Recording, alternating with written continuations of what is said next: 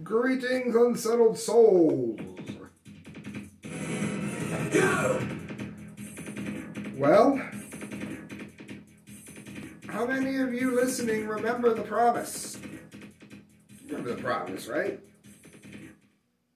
Let me remind you, in, in case you've forgotten, the promise was that women, let me fix this camera, women were going to get fair treatment from the Taliban under the ever inclusive rules of the Taliban's interpretation of Islam. Joe Pags, uh, hat tip to Joe Pags, on his radio show, he had brought something to the attention of his listeners, which I don't think a lot of people may have noticed. I mean, this was like PI sort of impressive here. You notice that there were no women caring for the fallen and the hurt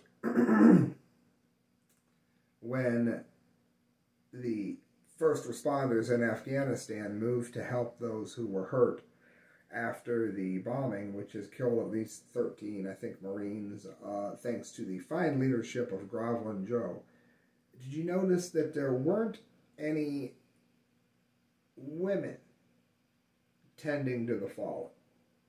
Now, we all know how intelligent uh, the uh, radical Islamists are. It's only been, you know, through most of history that women have driven the field of nursing and medical care in that regard. But nope. As Joe Pag said, they are now baby makers.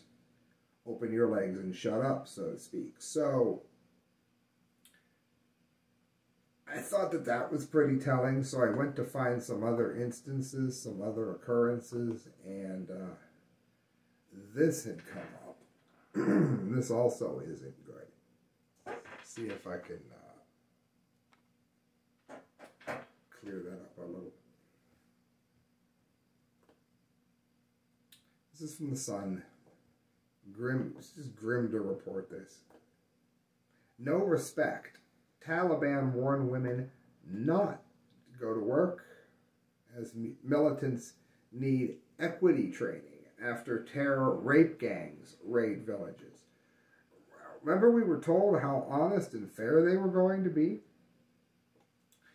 The Taliban has warned women in all of their fairness now uh, not to go out to work as militants now ruling the streets need equality training to know how to speak to them. The jihadi militants, it's not even the Dumby of the day yet. The jihadi militants have already promised to reinstate Sharia law.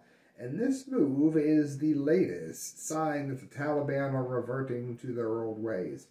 You think so, Shazam, Sparky. Use the thinking part of your brain. She looks like a walking set of drapery. Do you think maybe if she looks like drapery that there is a chance that they're reverting back to the ever-inclusive ways that they are known for?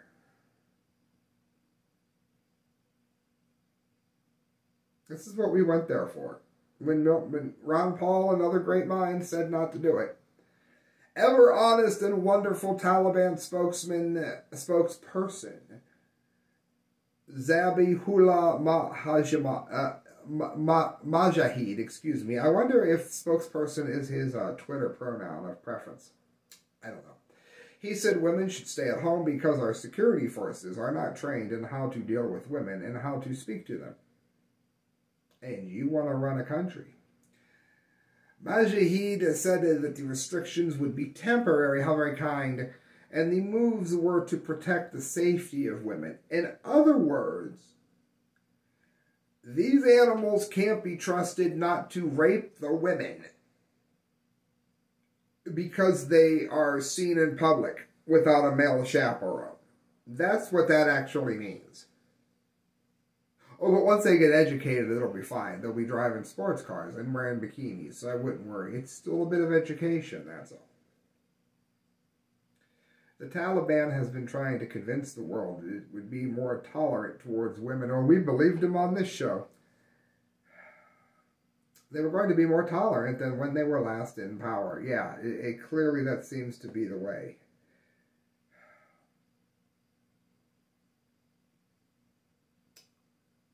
there are credible reports of abuses according to the UN, so take it with a grain of salt.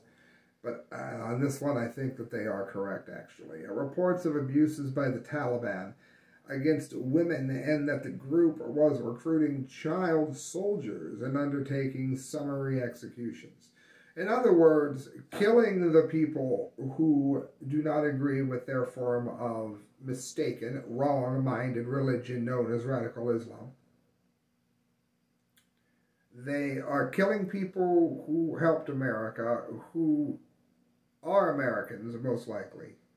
And they're taking soldiers as sex slaves and warriors so that they can send them out to blow themselves up for Allah or otherwise sacrifice themselves to gunfire while the brave Taliban leaders, of course, run the country with their infinite wisdom and open mindedness towards women.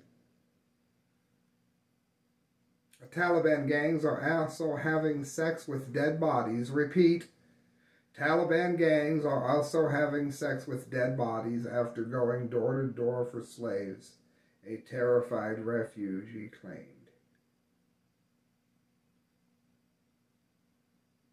Sex with dead bodies? When was that allowed in Islam? The former Afghan police force member, identified only as Muskan, said that the militants don't care whether the person is alive or dead. She told the news outlet News 18, there's another link, they either picked up women's or families and shot them, claiming they were even raping the corpses. When we were there, we received numerous warnings, Muskan told the outlet. If you go to work, you are under great threat. Your family is under threat. After one warning, they would stop giving any warnings. They rape dead bodies, too. They don't care whether the person is dead or alive. Can you imagine this? This comes as Kabul airport was rocked by devastating terror attack that left 13 dead on Thursday. It was at the Abbey Gate and it was caused, of course, by a suicide bomb. Taliban are coming for me.